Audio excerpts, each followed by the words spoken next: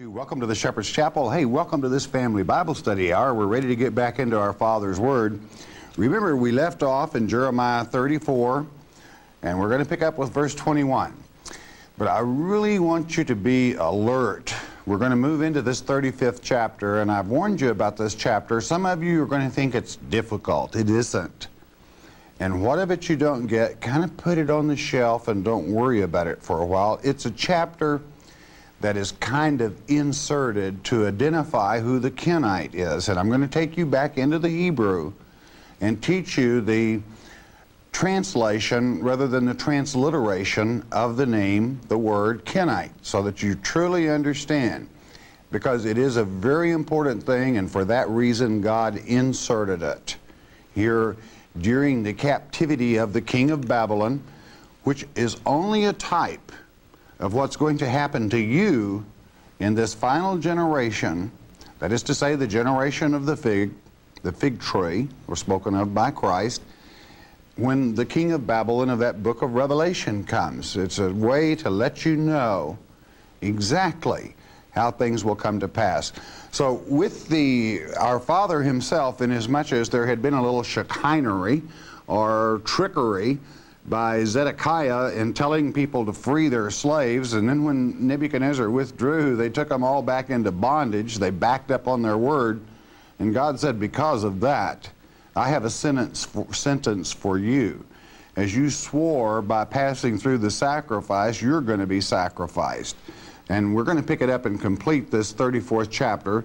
We ask a word of wisdom from our Father. Let's roll with it as God continues his uh, lecture to Jeremiah through, I'm sorry, Zedekiah through Jeremiah, chapter 34, verse 21, and it reads, And Zedekiah, king of Judah, and his princes will I give into the hand of their enemies, that's God speaking, and into the hand of them that seek their life, and into the hand of the king of Babylon's army, which are gone up from you. In other words, they withdrew but don't worry, they're coming back. Verse 22 Behold, I will command, saith the Lord, and cause them to return to this city. That's Jerusalem. And they shall fight against it, and take it, and burn it with fire, and I will make the cities of Judah a desolation without an inhabitant. What is an inhabitant? An inhabitant without Christ is not really living. They're spiritually dead.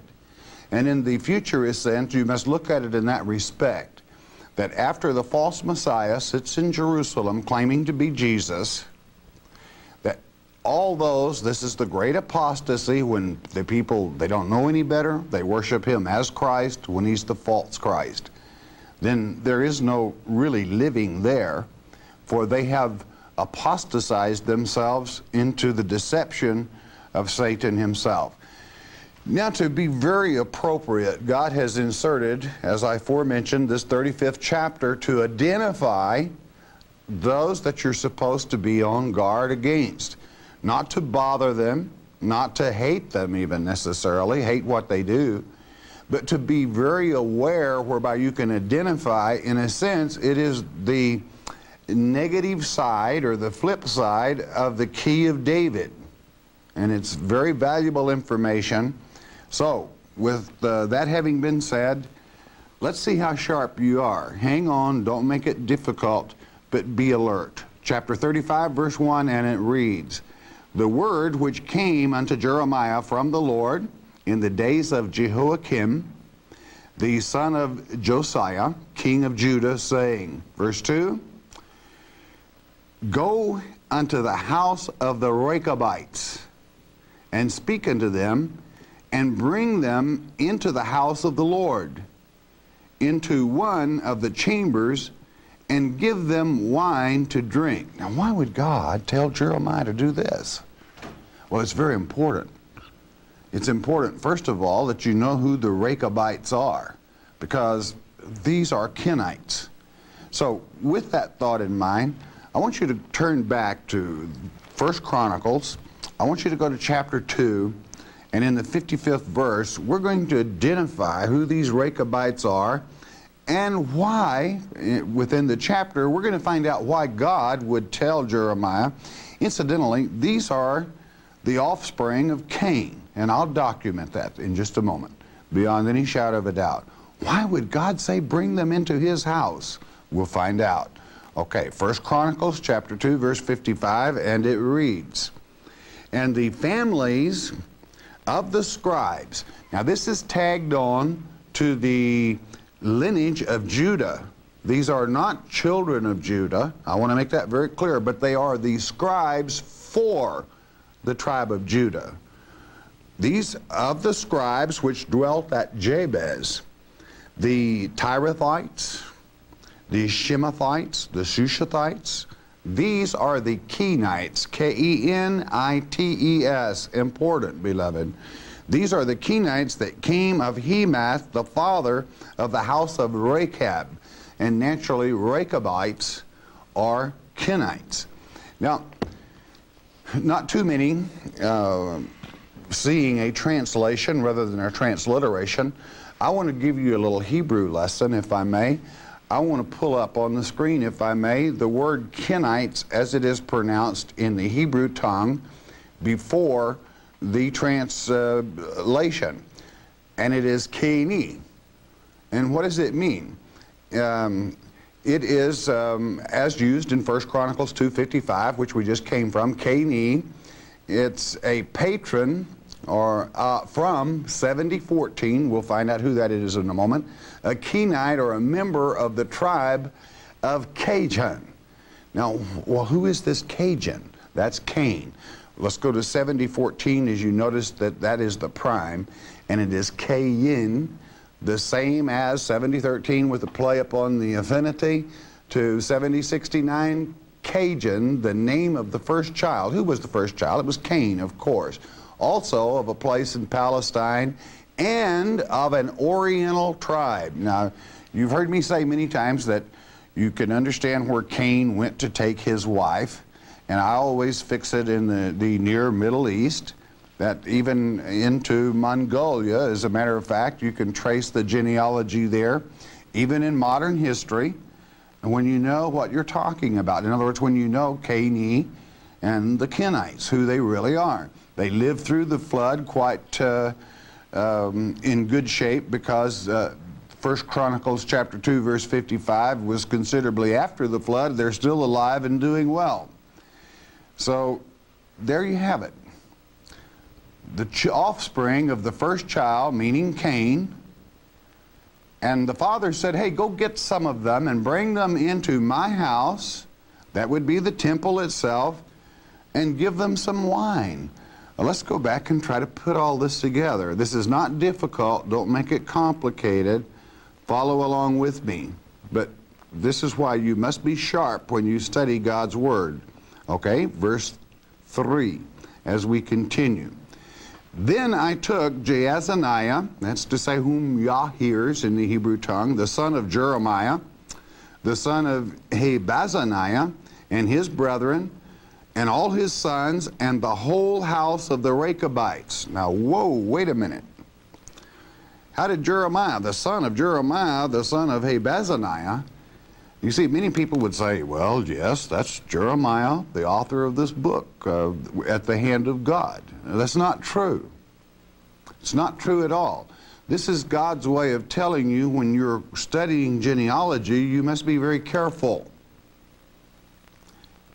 Do you remember who the Jeremiah of the book is? I want you to turn back with me, if you will, to chapter 1 of Jeremiah, verse 1, and let's, let's get this straight. Uh, Jeremiah's father was not Habaziniah, but was what? Chapter 1, verse 1 of the great book of Jeremiah, and the Jeremiah, which means to the one God launches forth in the Hebrew tongue, the words of Jeremiah the son of Hilkiah. So you see, we're talking about two different Jeremiahs. Of the priests that were in Anathoth in the land of Benjamin. Do you remember why that Jeremiah had the right, the kinsman redeemer right, to buy the piece of priest ground in Anathoth, which Anathoth in the Hebrew tongue meaning the answer to prayer. because that's where he was from. That's where his kinsman lived. Therefore, he had the right. You see, many might say, well, then you're talking Kenites. Well, actually, Moses' father-in-law was a Kenite. Jethro was a Kenite. You got to be sharp. It's not complicated. But how, you know, to a wise person, how could Jethro have been a Median priest and have been a Kenite at the same time? It's not possible. Two totally separate religions because Medan was the son of Abraham by his second wife, Keturah. Therefore, there is no way he could have been a Kenite. Why would the Kenites drive uh, Jethro's girls away from the well to water their sheep? Because they were strangers there. In other words, Jethro is called a Kenite because he lives in the country of the Kenite, such as um, I'm an Arkansan because I live in Arkansas, but I'm an Irishman because my ancestors came from Ireland. And uh, I'm an American because I live in the United States of America. When someone is called a certain thing, you must comprehend from tracing that genealogy which term is being utilized to describe the subject and the object being discussed, or you're not going to know or understand clearly what's being said. So, with that having been said, just to learn, this is to teach you to stay on guard, then we see that God Himself again calls the Rechabites into this house, that's to say the Kenites, says to give them wine, and away we go. Okay?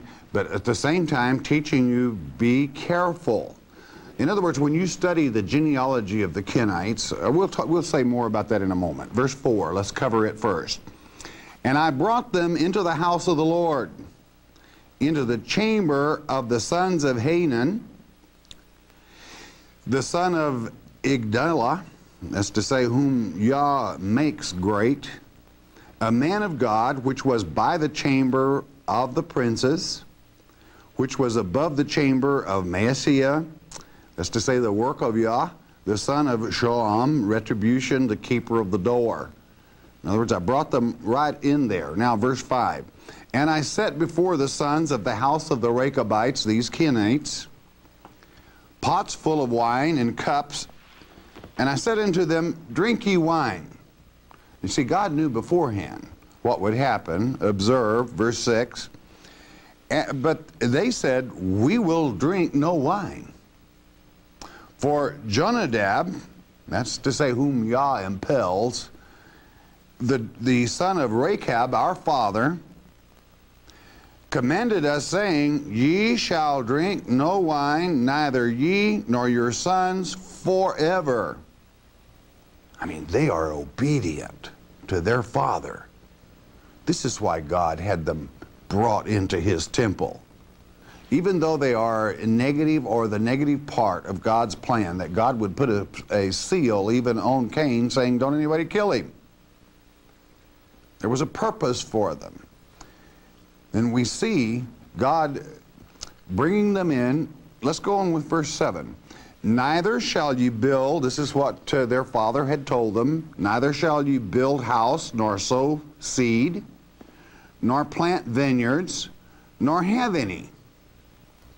But all your days you shall dwell in tents, in other words, you're going to be vagabonds, that you may live many days in the land where you be strangers. In other words, um, without taking root, uh, no one's going to kill you because you will not stay in one place long enough to have been found out necessarily, or their own ways uh, make, would have made them very unpopular. Does that ring a bell in your mind from Scripture? It should. What was the curse God placed on Cain? This is why God wanted them brought into his temple uh, to, to create this fact for the eyes of all those that can see to see, documenting that it was a reality that they had come through the flood and were very active. Let's go back to the chapter and verse that God would have placed this curse upon Cain, chapter 4 in the book of Genesis and verse 12. What does it say? Genesis chapter 4, verse 12, and it reads God's curse upon Cain When thou tillest the ground, it shall not henceforth yield unto thee her strength. A fugitive and a vagabond shalt thou be in the earth. And I promise you, if you, um, and understand, this has nothing to do with our brother Judah. This is the Kenite, the sons of Cain. That you will not find a farmer, even to this day, that is of that tribe. Why? God's promise is faithful and forever. They may own land, but they will hire other people to farm or to do that farm work because they cannot work the soil even to this day. God brings this point out in this 35th chapter as an absolute, whereby you have positive proof. And also, he's going to make a covenant with them before he allows them to leave this place. And it's important that you know that covenant, for it is important to you to be able to, to understand that that is written as an example in Revelation chapter 2 9, Revelation chapter 3 9, the two churches that God had no fault with through his son. As a matter of fact, the church of Smyrna and Philadelphia. Both those churches knew who those were that were Kenites of the synagogue of Satan, but claimed to be of our brother Judah. That, that is absolutely necessary for you to understand the key of David or to have Christ happy with you in your church, so to speak, whether it's your home study or whatever. If you do not understand those things, as it is written in Revelation 2 9, where Christ would be speaking to the churches, and 3 9, the church of Philadelphia, then you haven't got it all together. Therefore, it's so important that you have this prime. Now, many would say, well, what is this really all about? Well, let's follow along a little bit. Had we continued reading in the fourth chapter of Genesis, you would have found that Cain's genealogy is singled out and kept all by itself. Adam's genealogy then begins in next to the last verse on into chapter 5 of that great book of Genesis. And do you know who is missing from Adam's genealogy? Cain. Well, why is Cain missing? Because he wasn't his son. That's therefore, he's not in his genealogy. So that's very important because it gives you that key to David of Revelation 3 9 that is paramount to understand prophecies as they come to pass. Okay, now let's return, if we may, to this 35th chapter of Jeremiah. And we'll pick it up with the eighth verse and let's cover a little ground and understand why God has, is doing this. It's for your benefit, all right? Verse 8. Thus have we observed the voice of Jonadab, the son of Rechab, that's the father of the Kenites, our father, in all that he hath charged us to drink no wine all our days.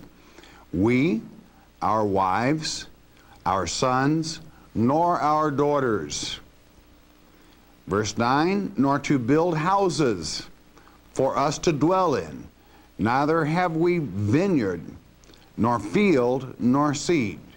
You know why I feel that they would never drink wine? That would become come to symbolize Christ's blood, and they will never have anything to do with Christ, all right? Because they are of the opposite uh, tribe. That is to say, those that God placed a mark on and said, leave them alone, don't kill them. Remember when Cain would come to him and say, everybody that finds me will to kill me, and just keep moving around, son. All right? Verse 10. But we have dwelt in tents and have obeyed and done according to all that Jonadab our father commanded us. God respects obedience. You want your prayers answered? Be obedient to God. I guarantee you your prayers will be answered for that that is best for you. Verse 11, But it came to pass when Nebuchadnezzar, king of Babylon, came up into the land that we said, Come, and let us go to Jerusalem. You got it? let us go to Jerusalem for fear of the army of the Chaldeans, that's to say the Babylonians, and for fear of the army of the Syrians, that's the tribes that took captive the other ten tribes of Israel. So we dwell at Jerusalem. Now, this is where the key comes in. Uh, to dwell, what, what, do you call someone in the Greek that dwells at Jerusalem? It's Iudas, or a Jew, because they live in the land of Judea. But it does not necessarily, uh, the, the other meaning of Iudas is a, a child or offspring of Judah. So you see, you have the old geographic thing again. If you live there, you're called a Jew the Kenites moved into Jerusalem and they people began to call them Jews or citizens of Jerusalem. And naturally when they being vagabonds when they moved on they would maintain in part some of them this name. And this has been a terrible thorn in the side of our true brother Judah. And it would be for this reason that Jesus would say in Revelation, I'm, going I'm just going to read it for you, if I may. Revelation chapter 2, 9, I've quoted it enough, concerning the church of Smyrna, the only, one of the only churches that Christ found no fault with. I know thy works and tribulation and poverty, but thou art rich, and I know the blasphemy of them which say they are Jews, or of, are of Judah, and are not, but are the synagogue of Satan. It's important, beloved, that you know that. Now, are you supposed to make war against them? No. What did Christ tell you to do with the tares? Leave them alone. But do have the knowledge. That's extremely important. Now, what, how does God reward this? Why would he ask these people into the very temple of God? Let's find out. Verse 12. Then came the word of the Lord unto Jeremiah, saying, 13, Thus saith the Lord of hosts, the God of Israel, Go and tell the men of Judah and the inhabitants of Jerusalem, Will ye not receive instruction to hearken to my words, saith the Lord. Uh, God's a little jealous here, you understand? These people obey every word their father says, right? I mean, to the letter.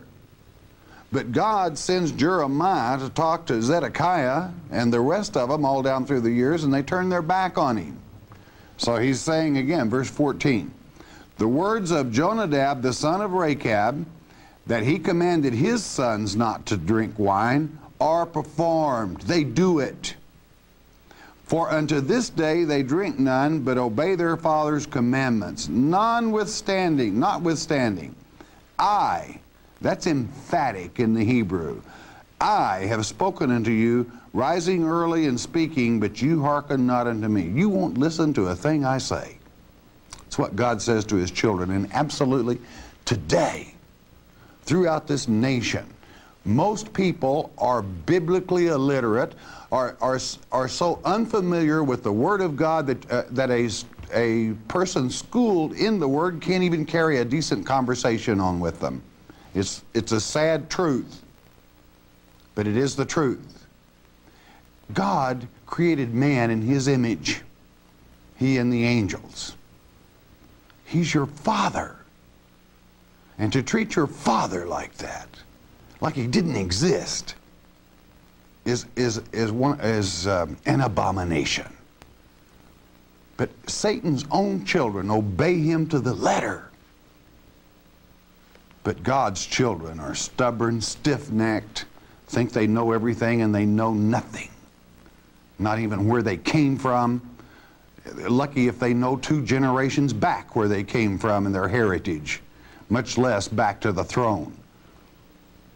Verse 15 I have sent also unto you all my servants the prophets, rising up early and sending them, saying, Return ye now every man from his evil way, and amend your doings, and go not after other gods to serve them. And ye shall dwell in the land which I have given to you and to your fathers, But ye have not inclined your ear nor hearkened unto me. God saying, My children just won't listen to me. So what's he going to do? Verse 16. Because the sons of Jonadab, the son of Rechab, have performed the commandment of their father, which he commanded them, but this people hath not hearkened unto me. Now, why did God send for them? Is it beginning to stack up for you? He wanted to show his own children that Satan's children obey him to the letter. And God's just a little jealous. He's hurt by it. He has emotions and he has feelings. And, and I would say that 90% of his children don't even wish him a good day. And, and rarely, if ever, tell him, Father, I love you. And they think that prayer is some ritualistic uh, thing as pagans must go through to even talk to him when he's wiser than anything you've ever run across, and you just talk to him. Father, I love you. He's our nearest kin. And we treat him as a whole like he didn't exist. And then many will say, I wonder why he doesn't answer my prayers. And the only time they ever even think of him is if, if they are dying or if they're in such dire straits they don't know which way to turn. It's terrible. It's a disgrace that we have such a loving Father that He goes to such pains as this and brings a message forth with simplicity that a child can understand. Many of you may think this is deep, this we're covering. I have, I have eight-year-olds that study with me via television that, are, that understand this totally and completely because of the simplicity that is involved within it. Comes down, God's not happy. He said, Satan's children obey everything he says, but what do I get? Verse 17. Therefore, God's going to put a little sentence on us here. Therefore, thus saith the Lord God of hosts, the God of Israel, his full title. Behold, I will bring upon Judah and upon all the inhabitants of Jerusalem all the evil that I have pronounced against them because I have spoken unto them, but they have not heard. But they have not answered.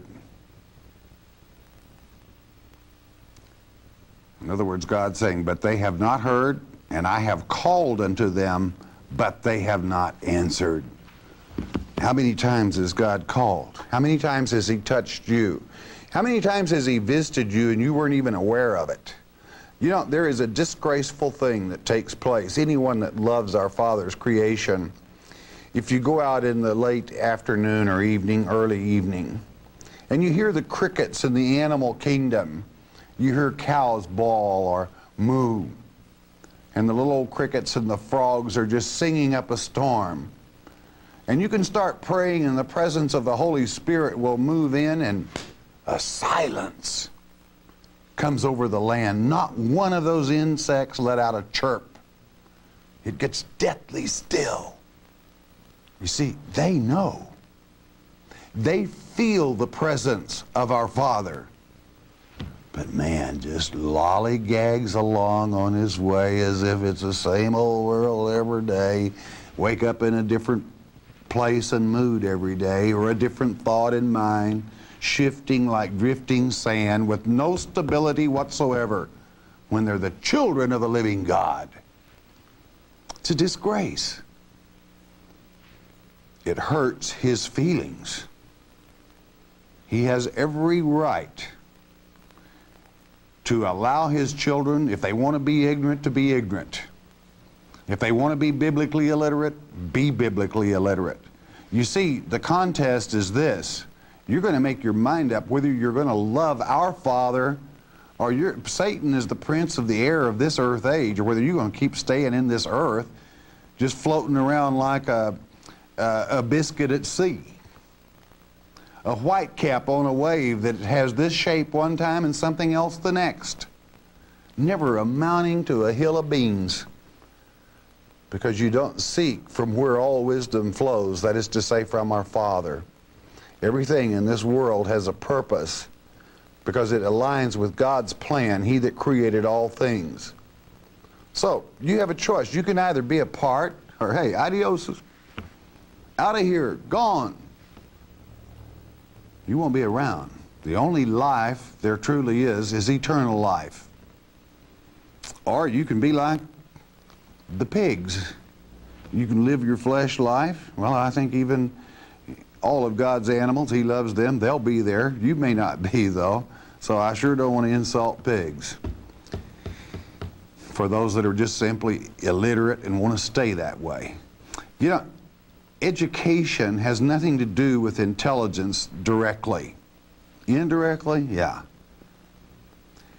any intelligent person can learn from nature itself. The analogy I just used of the crickets and the frogs and so forth, hey, they know. You can learn from them if you can't learn any other way. When the Spirit comes near, the Ruach, Hebrew for Spirit, the Holy Spirit, to, to know that God has touched you, that He loves you, God created man for his pleasure. You can document that in the last verse of the last chapter 4 in the book of Revelation. That is to say, chapter 4 in the book of Revelation. You can document it there. And your Father loves you. The thing is, have you given him any pleasure lately? Then don't ask him for any blessings if you haven't. Okay? If, how, well, how do I give him pleasure? Just tell him you love him. It doesn't take much to please him. Just be obedient as best you can. Yeah, you're going to fall short, but he even built in an emergency clause for that. Because of Christ's blood on the cross, all you do is repent and paid in full. You got a fresh start. He loves you. Okay, let's uh, let's go with the next verse here, which was verse 18. And Jeremiah said unto the house of the Rechabites, this is to the Kenites. Understand this. I hope it makes you a little jealous. Thus saith the Lord of hosts, the God of Israel, because ye have obeyed the commandments of Jonadab your father, and kept all his precepts, and done according unto all that he hath commanded you. Verse 19, Therefore thus saith the Lord of hosts, the God of Israel, Jonadab, the son of Rechab, shall not want a man to stand before me forever. That means, what does that mean? It's a Hebrew metaphor, or idiom if you prefer, that means the Kenites will always have a leader that will hold them together and give them the direction. Naturally, it's the negative part of God's plan, which ultimately is positive. There is no negative side to God's plan, ultimately. But God blessed them any way you want to slice it. He blessed them because of their obedience. He blessed them to the point that they can be far more successful than you if you stay biblically illiterate. If it were a if it were a task that required an IQ of 140 or 160, or I'll even say if it required an IQ of 120 to understand God's Word. You see, in the simplicity in which God brought forth His Word, an IQ of far less than that can see and understand the Word of God. He didn't make it hard for us, if you have any common sense. He made it easy. Let me ask you a question. If our own Father would bless the Kenite with that one thing, that they would always have a teacher and a leader, do you think he would not do much more than that for his own children that love him and are obedient? Of course he will. Already has his blessings just pour forth abundantly to those that reach out and say, Father, I love you. not make a big show about serving him. He's more natural than we are. He's supernatural. He doesn't want the big show. He just wants you to be honest with him. Let him know that you love him. And that makes you somebody. It makes you a child, nearest of kin to the living God, our Father, the Creator. That's really something. It's yours, but you have to claim it. I hope you enjoyed that chapter. Don't ever forget it. Don't ever forget that chapter. It's extremely important as a key to understanding our Father and His Word. Gives you a little glimpse of His own emotions. His little jealous, but yet would bless this one because He respects obedience. If He respects their obedience to that point, boy, will He love you for your obedience to Him. All right, bless your heart. You listen a moment, won't you please?